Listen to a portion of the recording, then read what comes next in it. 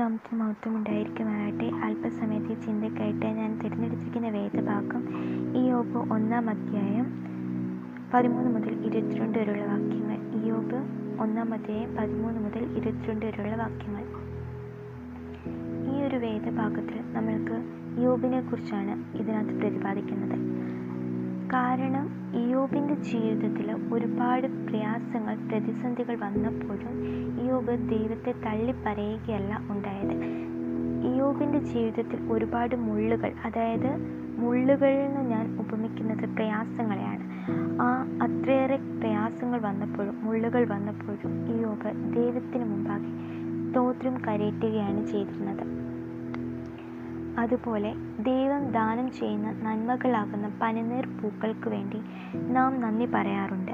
ദൈവത്തെ സ്തുതിക്കാറുണ്ട്. എന്നാൽ മുള്ളുകൾക്കായി നാം എപ്പോഴെങ്കിലും നന്ദി കരയറ്റിയിട്ടുണ്ടോ സ്തോത്രം പറഞ്ഞിട്ടുണ്ടോ? നാം ഒന്ന് ചിന്തിച്ചു നോക്കേണ്ടിയിരിക്കുന്നു. നമ്മളുടെ ജീവിതത്തിൽ നാം ഇന്നോളം കടന്നു വന്ന നമ്മളുടെ ഓരോ കാലഘട്ടങ്ങളിൽ നമ്മളുടെ ജീവിതത്തിൽ ഓരോ വിധ പ്രയാസങ്ങൾ പ്രതിസന്ധികൾ ഒക്കെ വന്നു പോയിട്ടുണ്ട്. നാം ആ പ്രയാസങ്ങളെ ഓർത്ത് നാം നന്ദി പറഞ്ഞിട്ടുണ്ടോ? ദൈവത്തിന് മുമ്പാകെ മുട്ടുകുത്തി പ്രാർത്ഥിച്ചിട്ടുണ്ടോ. ആ പ്രയാസങ്ങൾ എന്റെ ജീവിതത്തിൽ നൽകിയത് നൽകിയതിന് വേണ്ടി ഇല്ല. ഒരിക്കലും നമ്മൾ അങ്ങനെ ചെയ്തിട്ടുണ്ടാവില്ല. എന്നാൽ ചിലരുണ്ടാവും അത്തരത്തിലും. എന്നാൽ തന്നെ എല്ലാവരും അത്തരത്തിലല്ല. നാം നമ്മളുടെ ജീവിതത്തിൽ വന്നിട്ടുള്ള ഓരോ മുള്ളുകൾക്ക് വേണ്ടിയും നാം ദൈവത്തിന് നന്ദി പറയണം. കാരണം ധ്യാന ഭാഗത്ത് വിശദീകരിക്കാനാവാത്ത അനർത്ഥങ്ങളിലൂടെയാണ് നമ്മളുടെ ഇയോബ് കടന്നു പോയിക്കൊണ്ടിരുന്നത് കാരണം ഇയോബിനുണ്ടായിരുന്ന എല്ലാ ആടുമാടുകളും എല്ലാ സംഭവങ്ങളും നിമിഷ നേരങ്ങൾക്കുള്ളിൽ ഇല്ലാതാവുന്നു. പക്ഷേ ആ ഇല്ലാതാവലിലും ഇയോബ് ദൈവത്തിന് നന്ദി പറയുകയായിരുന്നു ചെയ്തിരുന്നത്. എന്തെല്ലാം പ്രയാസങ്ങൾ ഇയോബിന്റെ ജീവിതത്തിൽ ഉണ്ടായോ അപ്പോഴും ദൈവത്തിന് ദോഷം ആരോപിക്കുകയോ ദൈവത്തിന്റെ പേർക്കായിട്ട് ദോഷം ആരോപിക്കുകയോ ഒന്നും ചെയ്യാതെ. അതായത് ആ അനുഭവങ്ങളെയെല്ലാം അഭിമുഖീകരിച്ച് യോബിനെയാണ് നമ്മൾക്ക് എഴുത്തുകാരൻ നമ്മൾക്ക് മുമ്പാകെ കാട്ടുന്നത്. ഒരു റോസാ ചെടിയിൽ മുള്ളുകളുടെ എന്താ അന്ത്യത്തിലാണ് സുഗന്ധം പരത്തുന്ന പൂക്കൾ വിരിഞ്ഞ് വിരിഞ്ഞു നിൽക്കുന്നത് അല്ലേ? നമ്മൾ നമ്മളുടെ എല്ലാം ഭവനങ്ങളിലുണ്ടാവും. നാം കണ്ടിട്ടുണ്ട് റോസ. അതിൽ തന്നെ നോക്കുക എന്തോരം മുള്ളുകളുണ്ട്. അല്ലേ? നമ്മളുടെ ജീവിതത്തിൽ ഒരു സൂചി കൊണ്ട് തന്നെ ഒന്ന് കുത്തിയാൽ നമ്മൾക്ക് നോവേൽക്കും. അല്ലേ? അതേപോലെ തന്നെ ഒരുപാട് പ്രയാസങ്ങളും നമ്മളുടെ ജീവിതത്തിൽ അല്ലാതെ ഉണ്ടായിട്ടുണ്ട്. ജീവിതമാകുന്ന പനിനീർ ചെടിയിലും അതുപോലെ തന്നെ മുള്ളുകളില്ലാതെ പൂക്കൾ ഉണ്ടാവില്ല. രണ്ടിനും അതിന്റേതായ പ്രാധാന്യമുണ്ട് പ്രസക്തിയുണ്ട്. ഇയോബിന്റെ ജീവിതത്തിൽ നിന്ന് നോക്കുമ്പോൾ ഈ മുള്ളു മൂലം താൻ അനുഭവിച്ച നന്മ എന്തെന്ന് വെളിപ്പെടുത്തുകയാണ് ചെയ്യുന്നത്. അല്ലേ? നാമും ചിന്തിക്കണം. നമ്മളുടെ ജീവിതത്തിൽ ഇത്രയേറെ പ്രയാസങ്ങൾ പ്രതിസന്ധികൾ ഉണ്ട ഉണ്ടായിരുന്നില്ല എങ്കിൽ നാം ദൈവത്തിന്റെ പക്കൽ ഇങ്ങനെ നിൽക്കുമായിരുന്നോ? ഒരിക്കലുമില്ല. നമ്മളുടെ ഓരോരുത്തരുടെ ജീവിതത്തിലും ഒരുപാട് പ്രയാസങ്ങൾ പ്രതിസന്ധികളൊക്കെ വന്നു പോയിട്ടുണ്ടാവും. അതുകൊണ്ടാണ് ആ നാം ദൈവത്തിന്റെ പക്കൽ അടിയുറച്ച് നിൽക്കുന്നത്.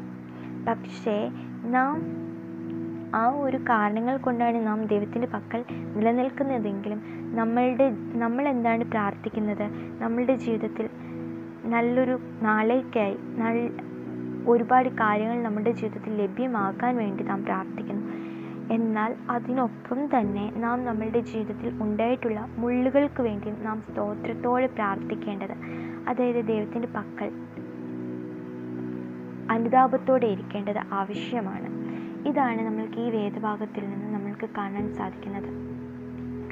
ഇതേപോലെ തന്നെ ഇതിന്റെ ഈ പുസ്തകത്തിന്റെ അന്ത്യത്തിൽ അതായത് യോബ് നാൽപ്പത്തിരണ്ടാം അധ്യായം അഞ്ചാം വാക്യത്തിൽ രേഖപ്പെടുത്തിയിരിക്കുന്നത് ഇപ്രകാരമാണ്. ഞാൻ നിന്നെക്കുറിച്ച് ഒരു കേൾവി മാത്രമേ കേട്ടിരിക്കുന്നുള്ളൂ. ഇപ്പോഴോ എന്റെ കണ്ണാൽ നിന്നെ കാണുന്നു. നാം ഈ ഒരു വാക്യത്തിൽ നിന്ന് നമ്മൾക്കും നമ്മളുടെ ജീവിതവുമായിട്ടും താരതമ്യപ്പെടുത്താം. അല്ലെ ഈ ഒരു വാക്യം നമ്മളുടെ ജീവിതത്തിലും ഒരുപാട് അർത്ഥതലങ്ങൾ ഈ ഒരു വാക്യത്തിൽ നിന്നും ഉണ്ടാവും ഉണ്ടാവുന്നുണ്ട്.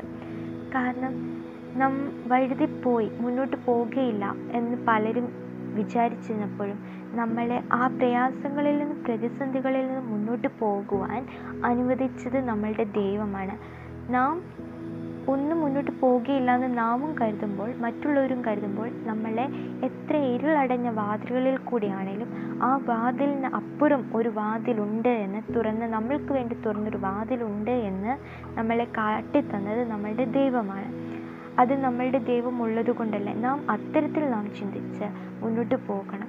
നമ്മൾ ഈ ഒരു അധ്യായത്തിൽ നിന്ന് അതായത് യോബ് ഒന്നാം അധ്യായത്തിൽ നിന്ന് ചിന്തിക്കുമ്പോൾ യോബ് എന്താണ് പറയുന്നത്?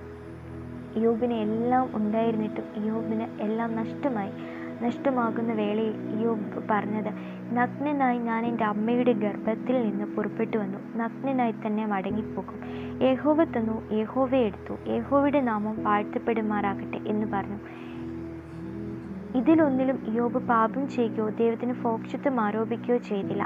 ഇതാണ് നാമും അനുവർത്തിക്കേണ്ടത്. നമ്മളുടെ ജീവിതത്തിലും ഇപ്രകാരമായിരിക്കുമാറാക്കണം യോബ് രണ്ടാം അധ്യായത്തിലും നമ്മൾക്ക് കാണാൻ സാധിക്കുന്നത് എന്താണ്? ഇതിനകത്ത് ഒമ്പതാം വാക്യത്തിൽ അങ്ങോട്ട് താപ്പോട്ട് നമ്മൾ വായിക്കുമ്പോൾ ഇതിൽ നിന്നും നമുക്ക് മനസ്സിലാക്കാൻ സാധിക്കുന്നത് എന്താണ്? നീ ഇനിയും നിന്റെ ഭക്തി മുറുകെ പിടിച്ചുകൊണ്ടിരിക്കുന്നുവോ? ദൈവത്തെ ത്യജിച്ചു പറയുക മരിച്ചു കളക എന്ന് യോബിനോട് യോബിന്റെ ഭാര്യ പറയുന്നുണ്ട്. അല്ലേ?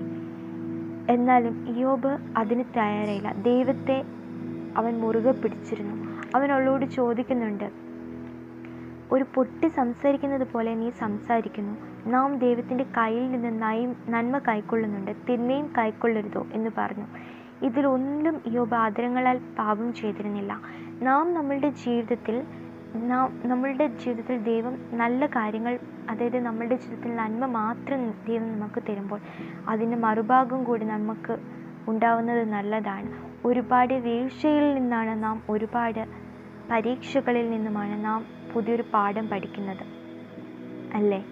പരീക്ഷയോടുകൂടെ നാം നമ്മുടെ ദൈവം നമുക്കൊരു പോക്ക് വഴിയും അതായത് ഒരു പുതുവഴിയും ഒരുക്കി തരുന്നവനാണ്. അവന്റെ പക്കലാണ് നാം ആശ്രയം വെച്ചിരിക്കുന്നത്. നമുക്ക് നൽകുന്ന മുള്ളുകൾ അവൻ നമുക്കായി ഒരുക്കുന്ന അനുഗ്രഹ മുഖാന്തരങ്ങളാണ്. ഇത് ഉൾക്കൊണ്ട് ജീവിക്കുവാൻ നമ്മൾക്ക് ഏവർക്കും കഴിയുമാറാകട്ടെ എന്ന് പ്രാർത്ഥിച്ചുകൊണ്ട് ഞാൻ എന്റെ വാക്കുകൾ നിർത്തുന്നു.